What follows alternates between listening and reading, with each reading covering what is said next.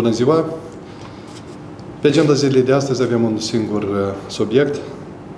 Cum vom construi împreună rezistența sistemului educațional. Și pentru aceasta voi prezenta cele mai importante reglementări privind organizarea anului de studii 2020-2021 în contextul epidemiologic de COVID-19 pentru învățământul general. Sunt în lume câteva realități indiscutabile. Majoritatea guvernelor din întreaga lume au luat decizii de închidere temporară a școlilor în încercarea de a stopa răspândirea COVID-ului, pandemiei COVID-19. Luna septembrie este mult așteptată de întreaga comunitate școlară. Este de datoria noastră să organizăm întoarcerea copiilor la școală. În pregătirea redeschiderii instituțiilor de învățământ avem în prim plan două directive.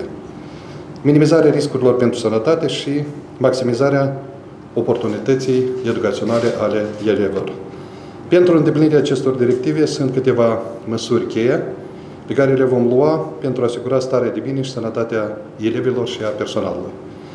În aspectul organizării pedagogice avem în vedere managementul lecțiilor, orarelor, a conținuturilor curriculare și extracurriculare, instruirea personalului didactic și nedidactic și grija pentru siguranța acestora. În aspect al sănătății și siguranței avem în vedere triajul matinal al elevilor și al personalului, monetizarea sănătății pe parcursul procesului educațional, echipamentul uh, individual de protecție, distanțarea fizică și grupurile de elevi, circuitul în instituția de învățământ, mișcarea elevilor, a cadrelor didactice și a personalului non-didactic, indicații referitor la clase, holuri, blocuri sanitare, transport, pauze, părinți, curățarea și dezinfectarea spațiilor și a suprafețelor comune. Așadar, principiile de bază ale redeschiderii uh, sunt sănătatea și siguranța, asigurarea unui spațiu educațional și un mediu protejat. 2. Dezvoltarea unei culturi a încrederii, care înseamnă respectarea disciplinii, a atitudinii etice și cea de respect pentru profesori, elevi, părinți. 3. Informarea corectă și permanentă.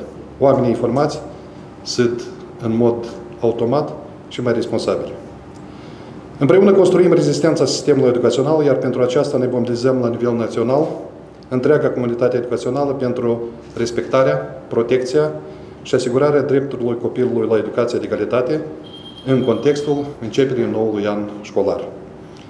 Azi vreau să auziți eh, de la mine, cu toată greutatea cuvântului unui eh, ministru și a instituției pe care o conduc, realitatea ceea ce preconizăm pentru noul an școlar – pentru că întoarcerea la școală va arăta diferit de ce, de ce eram obișnuiți.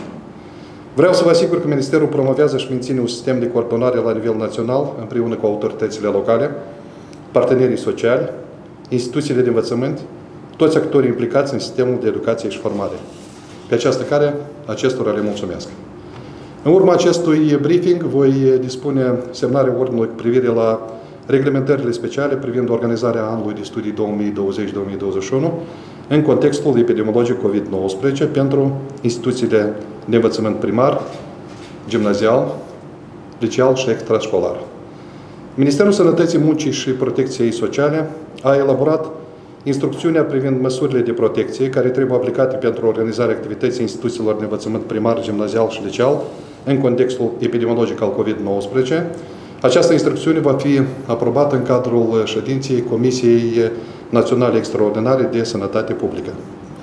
Așadar, pentru începerea anului de studii, instituțiile de învățământ vor parcurge trei etape.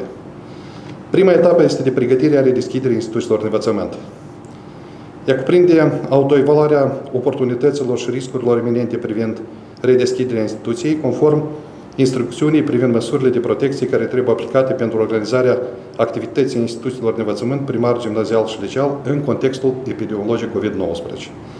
Realizarea acțiunilor și lucrărilor, în special cu echipamente de securitate individuală, cu produse de curățenie și dezinfectare. Conform raportului de autoevaluare care finalizează cu aprobarea structurilor teritoriale ale ANSP și ANSA. Elaborarea planului instituțional de redeschidere și reluarea activității, instruirea, informarea angajaților și a părinților despre noile condiții de activitate a instituției în perioada de carantină. Cea de-a doua etapă este perioada de adaptare. Revenirea în instituția de învățământ și adaptarea la noile condiții care are loc în prima lună. Este cea mai importantă etapă din punct de vedere psihoemoțional, dar și al adaptării la o nouă realitate. Cea de-a treia etapă este etapa de bază, organizarea eficientă a procesului educațional în condiții de sănătate și siguranță. Am gândit uh, global, am acționat local. De aceea, Ministerul a pregătit, uh, după câte cunoașteți, șapte scenarii din care școlile pot alege în funcție de situația dată la nivel local. Astfel, echipele noastre manageriale au stabilit împreună cu cadrele didactice, părinții, reprezentanții legali ai acestora și liderul sindical din instituție și au aprobat la Consiliul Profesoral și la Consiliul de Administrație modul de organizare a procesului educațional, conform modelelor recomandate. Mă bucur că sistemul a reacționat prompt, iar faptul că școlile și-au aliniat modelele date arată că ele corespund nevoilor concrete ale copiilor și situații la fața locului. Despre modelele selectate din școli precizăm următoarele. Conform datelor colectate de la organele, localitate, organele locale de specialitate în domeniul învățământului, din numărul total de 1249 de instituții, de învățământ general, inclusiv 23 private, modelul 1, prezența la școală 100%, a fost ales de 769 instituții de învățământ, ceea ce constituie 62 întreg și 83%. Modelul 2, învățarea pe schimburi, a fost ales de 119 instituții, ceea ce constituie 9 întreg 72%.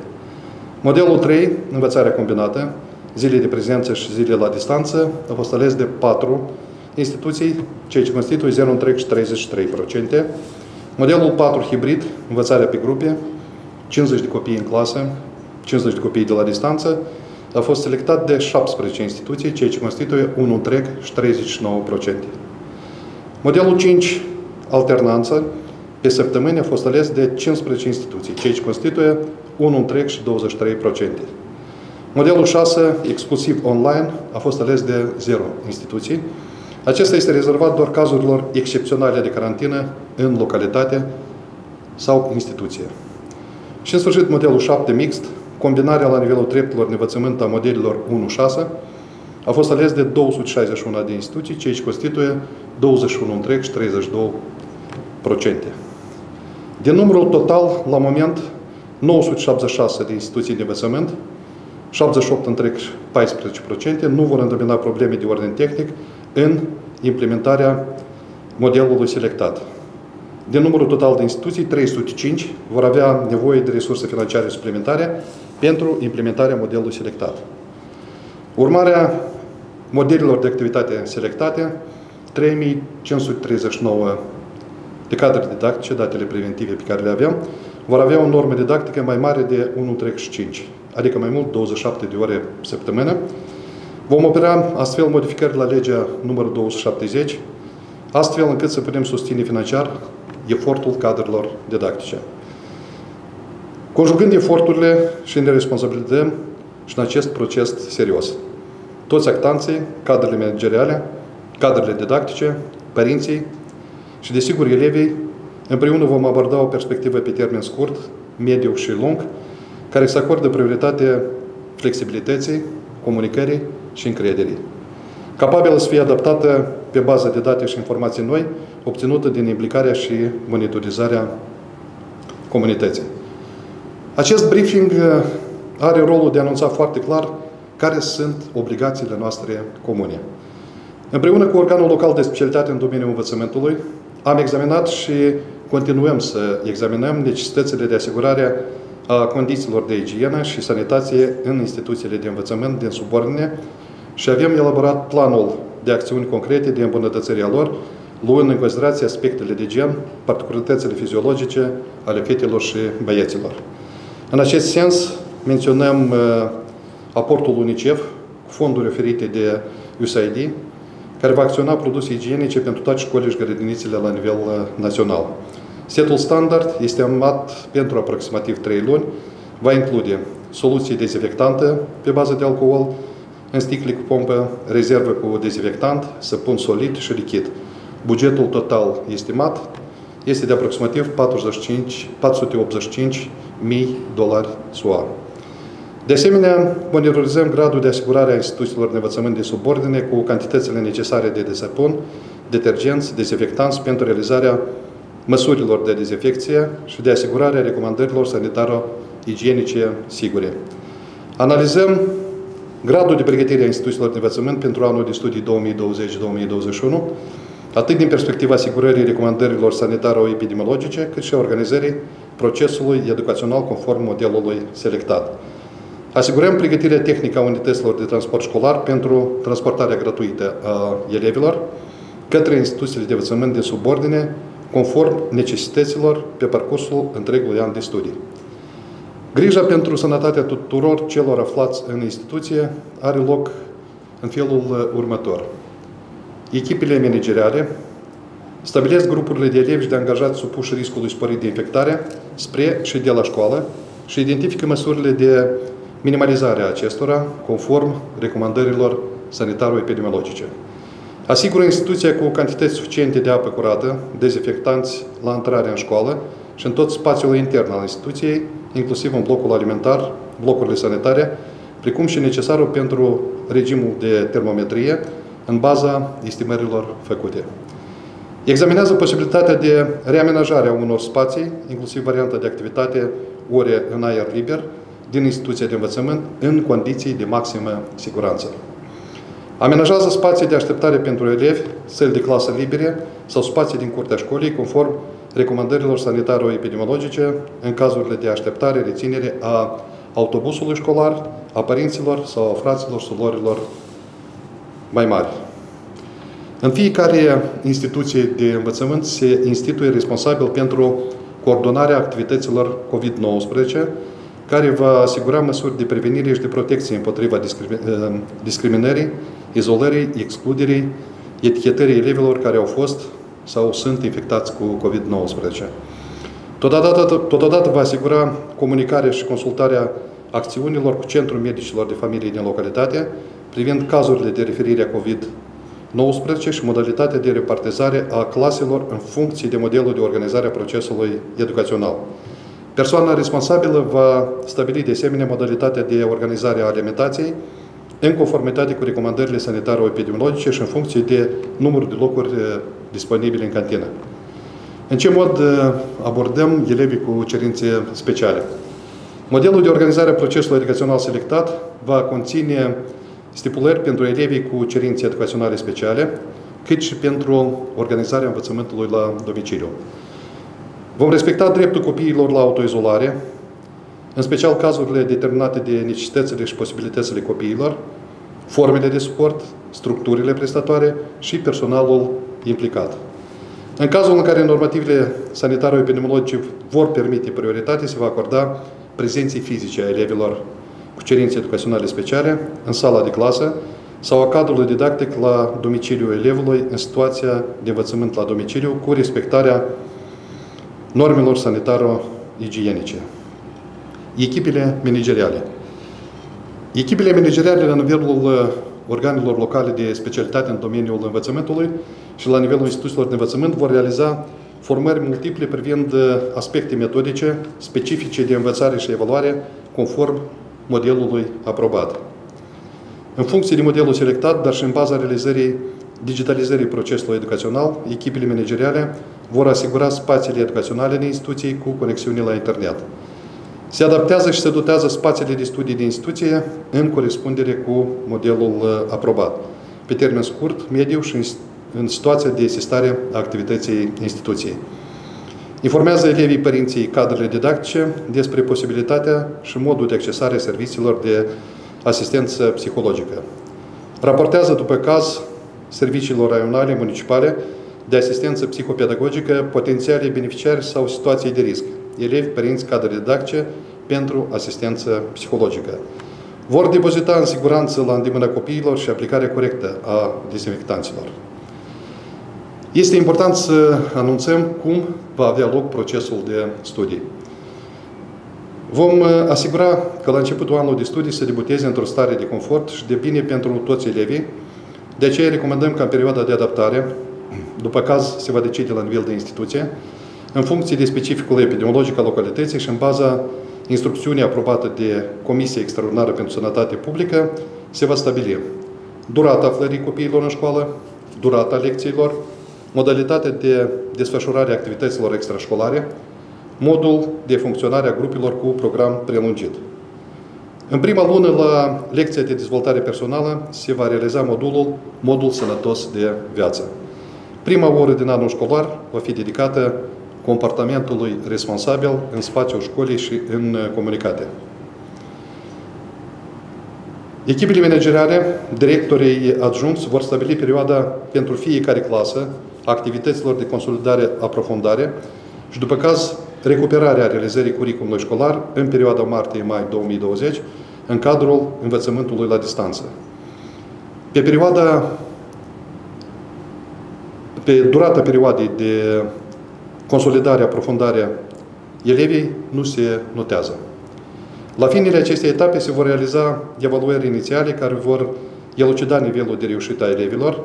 În cazul acestor evaluări, la fel, nu se vor pune note. Elevii cu cerințe educaționale speciale vor beneficia de un demers didactic adaptat în funcție de potențialul și necesitățile elevilor. Manuale. În anul 2020 vor fi reeditate 50 de titluri de manuale școlare în corespundere cu curriculum ediția 2019. Abecedarul și bucvari pentru clasele 1 vor fi distribuite în instituțiile de învățământ până la 1 septembrie 2020, tradițional cu titlu gratuit. Totodată menționăm că variantele PDF ale manualelor reeditate vor fi plasate pe site-ul Centrului Tehnologiilor Informaționale în educația Ministerului Educației, Culturii și Cercetării și vor putea fi accesate, descărcate de cadre didactice, elevi și părinți. În acest an de studii beneficiem de toate oportunitățile Bibliotecii Digitale, proiect realizat împreună cu Primăria orașului eh, Chișinău, proiect Educație Online, care pune la dispoziție elevilor lecții filmate și sarcini interactive pentru semestrul 1 și 2. Etapa a doua a demarat, iar investițiile Ministerului Educației, Culturii și Cercetării vor fi de 5 milioane de lei. Avem un uh, sistem educațional bogat în oameni valoroși care își transformă visele în realitate, care învață peste noapte tehnologiile posibile, așa încât să aibă în față pe copil. Aceștia sunt profesorii noștri. Colegii noștri profesori, de dragul pasiunii pentru educație, aleg să fie pe linia întâi, să ține pulsul alfabetizării în țară și să dorească pentru copiii aflați în grija educației. Și vreau pe această cale să le mulțumesc. În ciuda unei distanțări sociale, cadrul didactice asigură apropierea între oameni și o fac din inimă. Aceste eforturi sunt cunoscute și recunoscute de către Ministerul Educației, Culturii și Cercetării. Vrem să convingem că în școală este nevoie de acești oameni și de alți tineri care au încolțit în inima lor dragostea pentru copii. Dar, în primul rând, ne dorim cadre didactice protejate. În acest scop vom fi foarte atenți să monitorizăm un proces sigur de activitate a profesorilor noștri. Investim în continuare în dezvoltarea tuturor competențelor profesionale ale cadrelor didactice. Mai întâi am stabilit în funcție din necesitățile profesionale modalitățile de formare și dezvoltare a competențelor digitale ale cadrelor didactice și de conducere în organizarea învățământului la distanță în mediul online. Astfel, toată vara și în prezent au loc activități de formare a cadrelor didactice și de conducere de instituțiile de învățământ privind specificul managementului educațional în organizarea modelelor recomandate. În perioada 1-31 august, Ministerul Educației, Culturii și Cercetării, în colaborare sau în cadrul Academiei de Vară a cadrelor didactice, circa 50 de webinare pentru susținerea redeschiderii în siguranță a instituțiilor de învățământ. Webinarele sunt difuzate în regim online pe pagina uh, Ministerului Educației, Culturii și Cercetării, la care au acces toate cadrele didactice și manageriale din sistem, iar uh, interesul pentru acestea este unul uh, sporit în funcție de tematică. Vă recomandăm aceste seminarii care cuprind o gamă foarte largă de subiecte. Redeschiderea grădinițelor, redeschiderea școlilor, curriculumul, starea de bine în școală, resursele oferite de biblioteca uh, digitală, Google Suite și așa mai departe. Proiectăm și realizăm activități de formare pentru diferite categorii de cadre didactice privind utilizarea platformelor educaționale online. Ministerul a realizat uh, reuniunile metodice anuale, în care accentul a căzut anume pe situația de redeschidere și modelarea procesului educațional în contextul situației epidemiologice.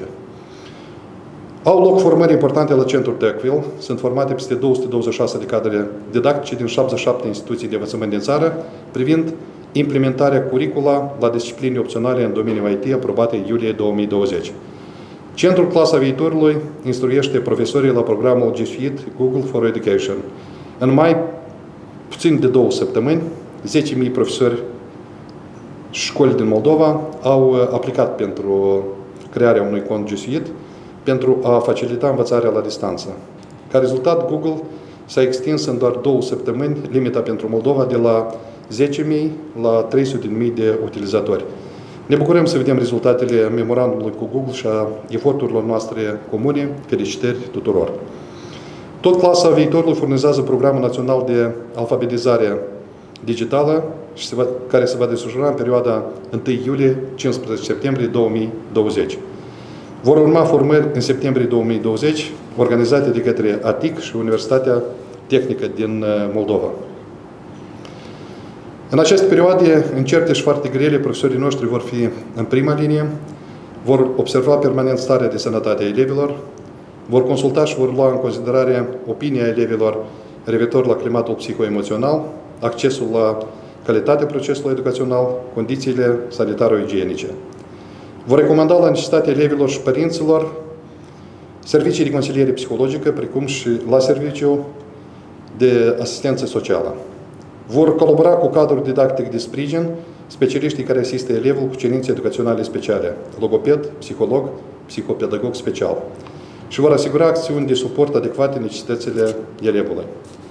Dirigintele de clasă va informa elevii și părinții cu referire la regulile de comportament în condițiile epidemiologice de COVID-19 în baza ghidului elevului și a ghidului profesorului monitorizează zilnic starea de bine a elevilor din clasă, oferă elevilor despre posibilitățile de accesare a serviciilor de asistență psihologică și de sănătate, de dezvoltare personală și socială.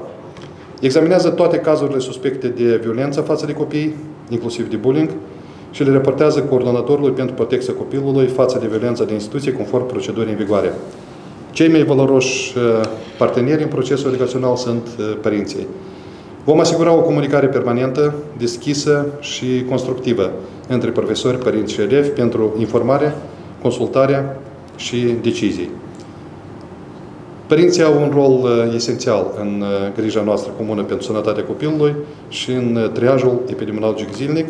Ei sunt cei care ar trebui să cunoască eventualele manifestări ale copilului și să decidă netrimiterea acestuia la școală.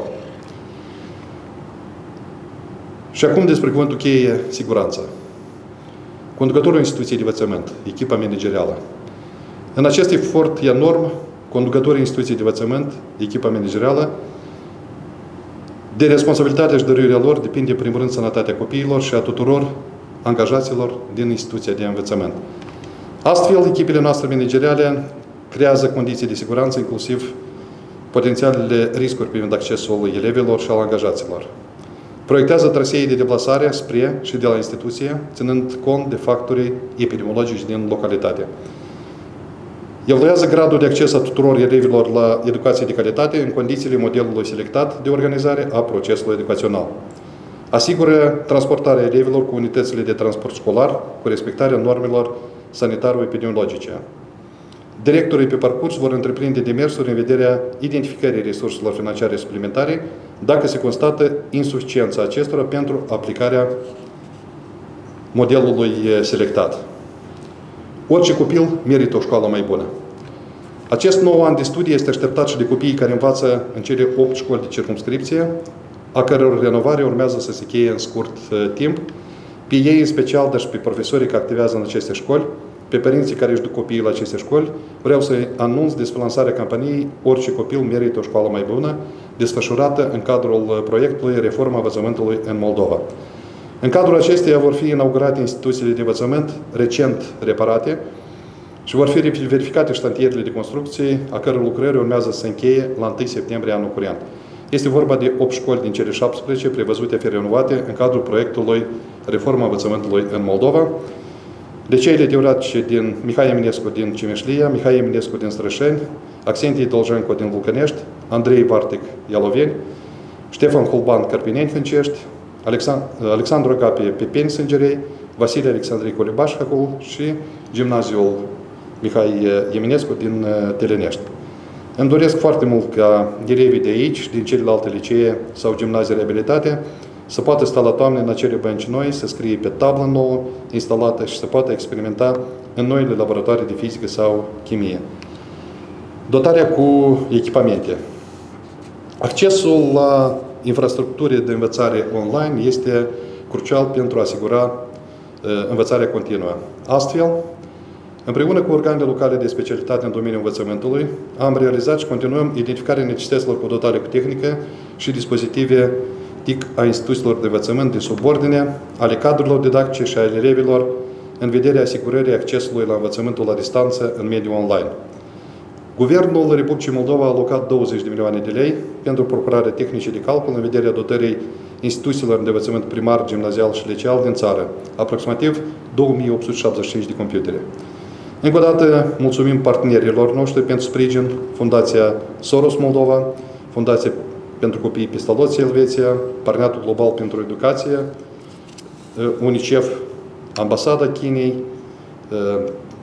Coreea, Guvernul Coreei de Sud, cu sprijinul cărora, parcursul acestei veri, am primit importante donații de computere pentru școlile și liceele din Republică.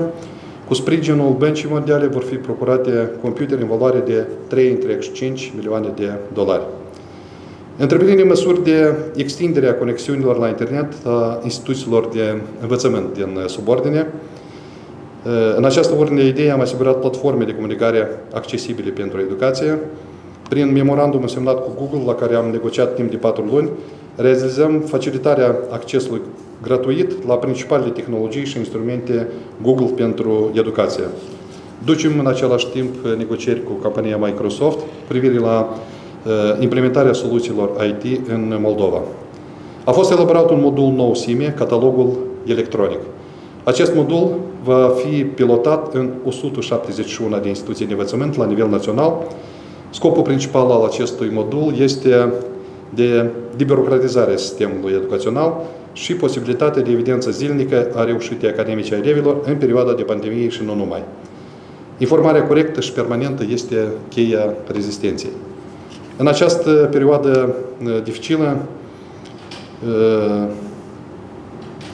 infodemia este un fenomen nedorit care produce haos în societate și panică. Astfel, încă o dată vă rugăm să fiți atenți uh, la toate comunicatele MEC oficiale, plasate pe site-ul Ministerului sau pe pagina Facebook. Și, în sfârșit, la final, încercările ne fac mai puternici. Ele sunt și un real prilej de a progresa pe linia modernizării, iar eu sunt adeptul uh, modernizării inteligente. Și asta facem, construim împreună rezistența la crize și repunem educația pe soclul demnității. Dar peste și dincolo de toate avem grijă unii de alții și avem grijă de sănătate. Vreau să vă asigur că Ministerul este un uh, partener loial tuturor celor cu intenții bune, oneste și interesul copiilor. Ușa noastră este deschisă pentru toată lumea. Vă mulțumesc!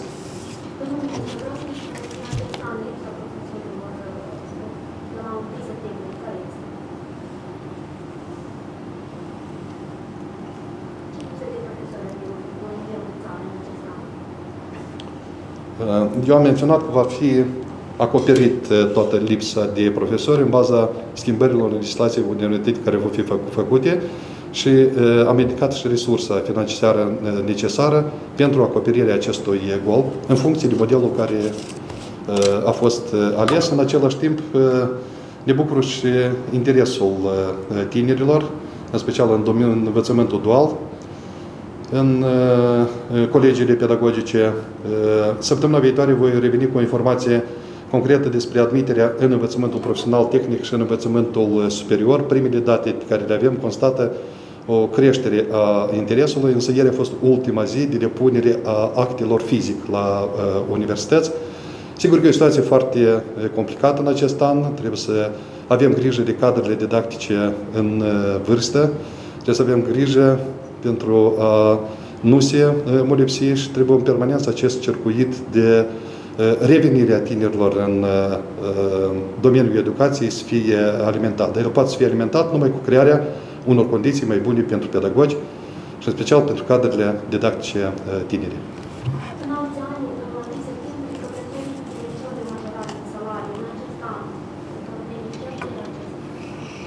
Da, majorările de salariu au fost pe parcursul acestui uh, an și respectiv în comparație cu anul trecut, ele sunt undeva în jur de 10%, date mai concrete, puteți să vedeți de și la uh, statistică.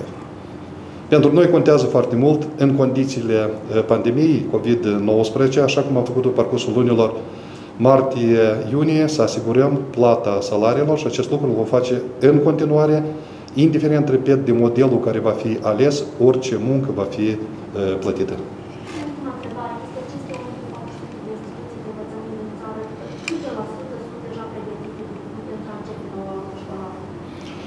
Noi vom vedea de acum gradul de pregătire a acestora în baza ceea ce ne raportat cu organele locale de specialitate. În mod normal, ele sunt pregătite.